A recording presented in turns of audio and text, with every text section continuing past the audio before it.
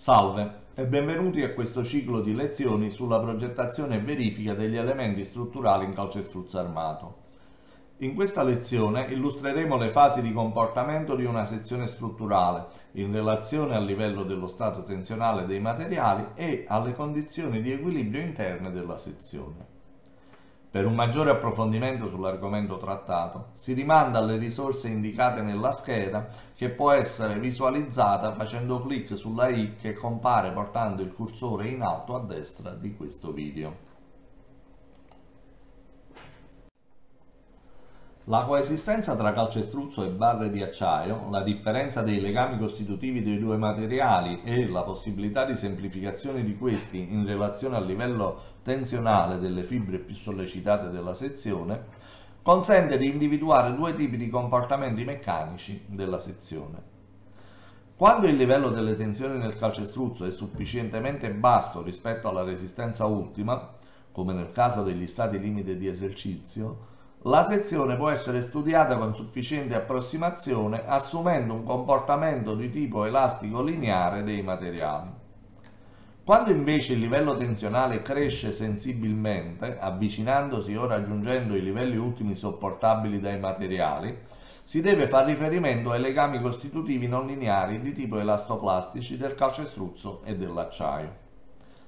La scarsa resistenza a trazione del calcestruzzo fa sì che anche con bassi livelli di sollecitazione flessionale la parte tesa delle sezioni si fessuri e la trasmissione degli sforzi di trazione deve essere affidata esclusivamente alle barre di armatura. Ricapitolando quindi, in una sezione in calcestruzzo armato possiamo individuare tre fasi di comportamento. Una fase elastica in cui la sezione è interamente reagente e non fessurata nella zona tesa, una fase ancora elastica ma in cui la parte sollecitata a trazione della sezione è fessurata. Infine, una fase plastica della sezione che si estende fino alla resistenza ultima e quindi alla rottura. Cominciamo con il modellare il comportamento nella prima fase. In questa fase il livello tensionale è sufficientemente basso da poter approssimare il comportamento dei materiali con un legame di tipo elastico lineare. Il livello della tensione di trazione del calcestruzzo è inferiore a quello della resistenza. Il calcestruzzo risulta quindi non fessurato.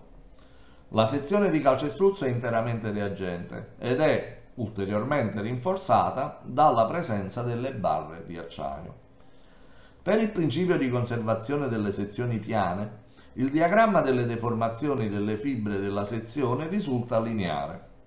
Avendo adottato legame costitutivo di tipo lineare, le tensioni del materiale sono in ogni punto proporzionali alla deformazione e quindi anche il diagramma delle tensioni è lineare. Sia la tensione di una fibra di calcestruzzo sia quella di una barra si ottengono moltiplicando la deformazione per il relativo coefficiente di elasticità lineare. Per l'ipotesi di perfetta aderenza tra barra e calcestruzzo, nell'intorno di una barra sia il calcestruzzo che la barra avranno la stessa deformazione ε. Introducendo il coefficiente n dato dal rapporto tra modulo di elasticità dell'acciaio e modulo di elasticità del calcestruzzo, Dall'uguaglianza della deformazione fornita dalle due relazioni tensionali si ricava che la tensione della barra è uguale ad n volte la tensione del calcestruzzo al suo intorno. Il coefficiente n viene detto coefficiente di omogeneizzazione perché la sua introduzione consente di estendere facilmente i risultati della scienza delle costruzioni ottenuti sui materiali elastici e omogenei considerando la sezione di calcestruzzo armato come se fosse una sezione composta da un unico materiale omogeneo, il calcestruzzo.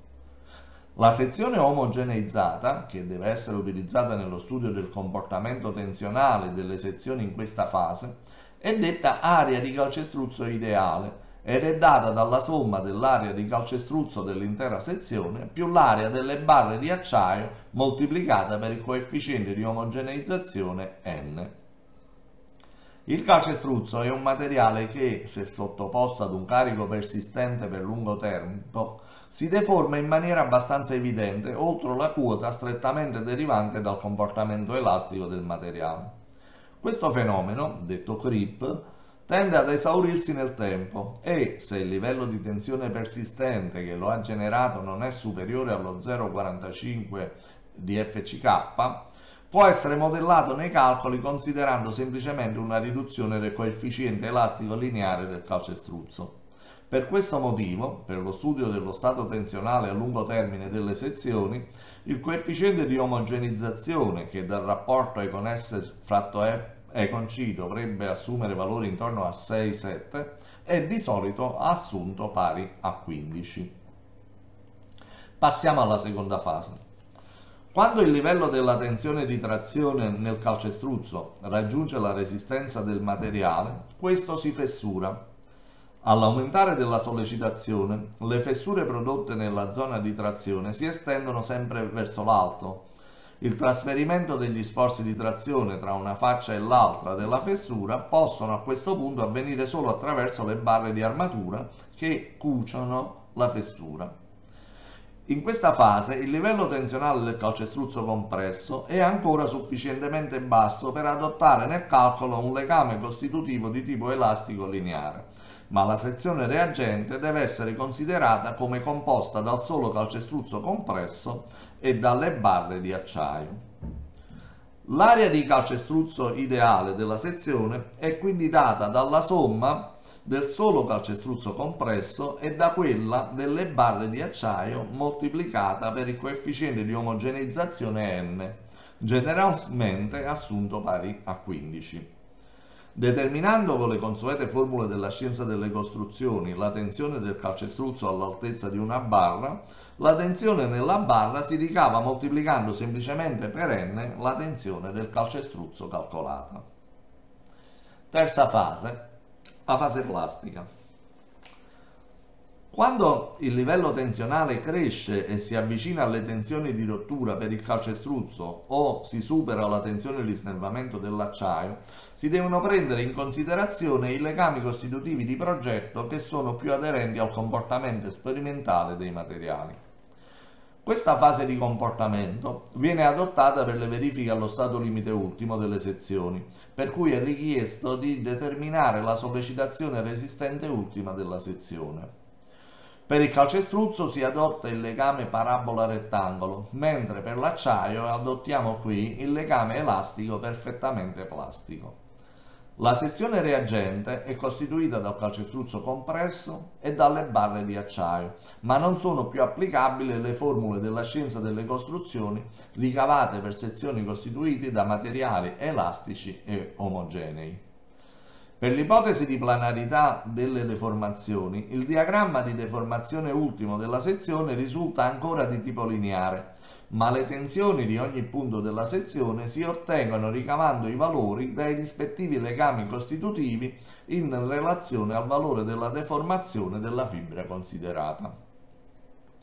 In questo stadio non si procede di solito al calcolo del livello tensionale in relazione ad una determinata sollecitazione esterna, ma si procede a calcolare il valore ultimo di sollecitazione che la sezione è in grado di sopportare, per poterlo poi confrontare con quello derivante da una combinazione di carico allo stato limite ultimo. L'esito del confronto tra sollecitazione ultima di progetto e resistenza ultima della sezione ci consente di effettuare le verifiche di resistenza sulle sezioni costituenti l'elemento strutturale. Nella fase plastica, tenendo conto del livello di deformazione ultima del calcestruzzo e del comportamento elastico perfettamente plastico dell'acciaio, si possono individuare diverse modalità di rottura della sezione in relazione alla posizione dell'asse neutro. L'asse neutro è quell'asse che individua sulla sezione le fibre a deformazione nulla e quindi a tensione nulla. Poiché la deformazione ultima dell'acciaio è assunta in progetto come infinita o comunque nella realtà è almeno di un ordine di grandezza più grande di quella del calcestruzzo, la rottura della sezione deve avvenire sempre per il raggiungimento della deformazione ultima del calcestruzzo a lembo compresso. Supponendo che il lato compresso della sezione sia quello superiore e posto il livello di deformazione del lembo superiore pari proprio alla deformazione ultima del calcestruzzo, e cioè pari allo 0,35%, si possono considerare posizioni dell'asse neutro crescenti verso l'altezza della sezione, individuando così alcune posizioni di comportamento limite nella sezione. Queste posizioni dell'asse neutro delimitano le cosiddette regioni di comportamento, che brevemente qui si illustrano. Una prima regione di comportamento è individuata dalla posizione dell'asse neutro che comporta una deformazione dell'acciaio tesi pari alla deformazione di snervamento di progetto. Le posizioni dell'asse neutro comprese in questa regione, e cioè posizioni comprese tra il bordo superiore compresso e la posizione X limite, comportano che la capacità tensionale del calcestruzzo e delle barre di acciaio tese siano sfruttate alla massima capacità. In particolare, il diagramma di tensione del calcestruzzo è interamente sviluppato e le barre tese risultano snervate e sollecitate alla massima tensione di progetto. La posizione X limite che determina la delimitazione di questa regione di comportamento si ottiene ponendo il livello di deformazione delle barre tese pari proprio alla deformazione di snervamento di progetto e considerando la similitudine tra i due triangoli individuati dal diagramma di deformazione della sezione. Seppure posizioni dell'asse neutro prossime alla posizione limite comportino maggiori livelli di resistenza della sezione, nella pratica progettuale è bene adottare posizioni dell'asse neutro a rottura molto più alte, così da ottenere una maggiore capacità deformativa in termini di rotazione della sezione e quindi un comportamento complessivo più duttile delle strutture come richiesto nelle costruzioni in zona sismica. Facendo scendere ancora più in basso la posizione dell'asse neutro, le barre tese presentano una deformazione inferiore a quella di snervamento di progetto, per cui la tensione delle barre si ottiene moltiplicando la relativa deformazione per il coefficiente di elasticità lineare. Il diagramma del calcestruzzo è invece ancora totalmente sviluppato. Un limite inferiore per questa regione si può individuare con la coincidenza della posizione dell'asse neutro con la posizione delle barre. In tale circostanza la deformazione delle barre e quindi la tensione risulta nulla. Il comportamento tipico di questa regione può estendersi anche fino alla posizione dell'asse neutro corrispondente con il bordo inferiore della sezione. In tale condizione limite, la sezione risulta completamente reagente e compressa, e così anche le barre. Se lo spessore del copriferro è quello consueto, le barre inferiori risulteranno compresse ma ancora in fase elastica. Facendo scendere ancora la posizione dell'asse neutro, la sezione è ancora tutta compressa, ma il diagramma di deformazione dovrà, all'aumentare della distanza dell'asse neutro, ruotare intorno alla posizione della deformazione allo 0,2% posta ad un'altezza di 3 settimi di h dal bordo superiore. In questa regione il diagramma di tensione del calcestruzzo non è interamente sviluppato, ottenendo valori della deformazione al lembo superiore inferiore allo 0,35% e via via decrescenti fino al valore limite dello 0,2%, cui corrisponderà una sollecitazione di compressione semplice. La tensione delle barre si ottiene dal legame costitutivo dell'acciaio, confrontando la deformazione con quella di snervamento. Se la deformazione delle barre è maggiore di quella di snervamento, la tensione corrispondente sarà pari a Fy con D. Se invece la deformazione è inferiore a quella di snervamento, la tensione si otterrà dalla legge lineare sigma con S pari a E con S per epsilon.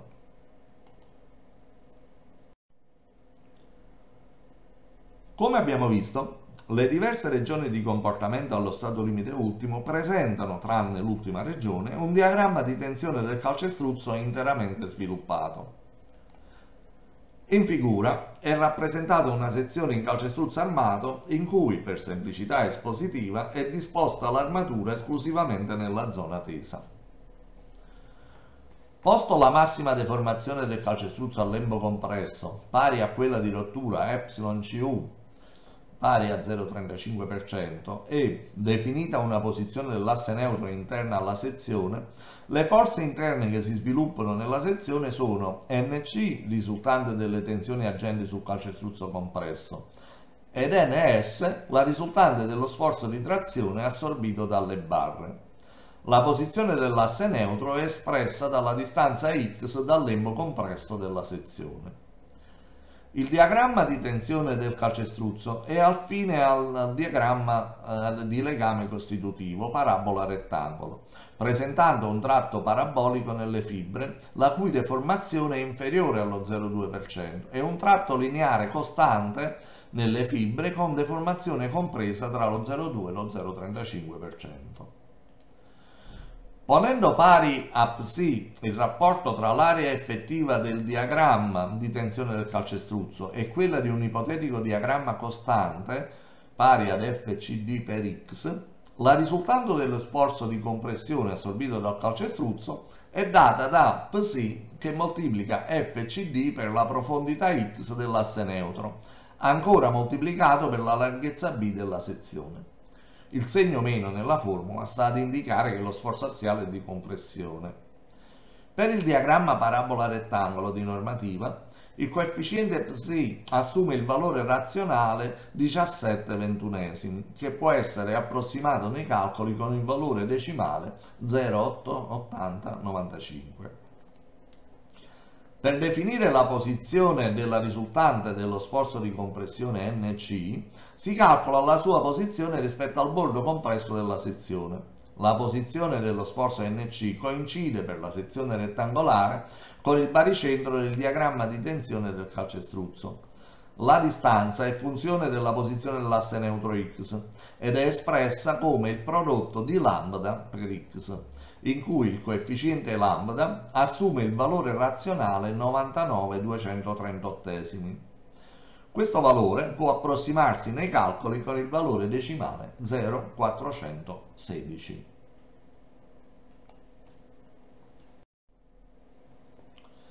Consideriamo ora il modello di una sezione di calcestruzzo armato con barre compresse e barre tese.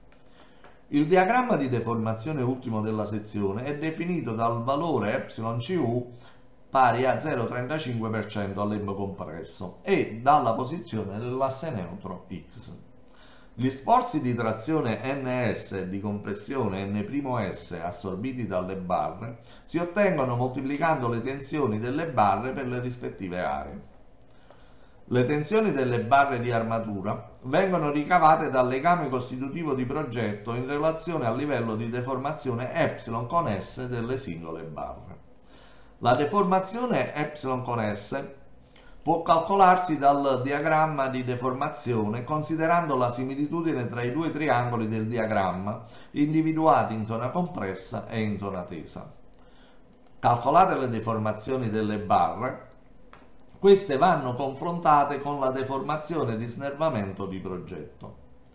Se la deformazione delle barre è inferiore a quella di snervamento, la tensione sarà fornita dalla legge lineare e quindi moltiplicando la deformazione per il coefficiente di elasticità dell'acciaio. Se la deformazione è maggiore di quella di snervamento di progetto, allora la tensione delle barre sarà uguale a quella di snervamento. Bene, anche questa video lezione è giunta al termine. La trattazione dell'argomento è stata sicuramente sintetica, ma spero che almeno sia stata chiara. Se l'avete comunque apprezzata, potrete magari approfondire l'argomento calcestruzzo armato consultando il mio testo che vi suggerisco nelle slide e di cui troverete una breve recensione anche sul mio sito www.robertolapiello.it. Nelle seguenti lezioni affronteremo il progetto e la verifica delle sezioni per le diverse sollecitazioni semplici e composte. Arrivederci alla prossima lezione su calcestruzzo armato o ad altre lezioni presenti su questo canale.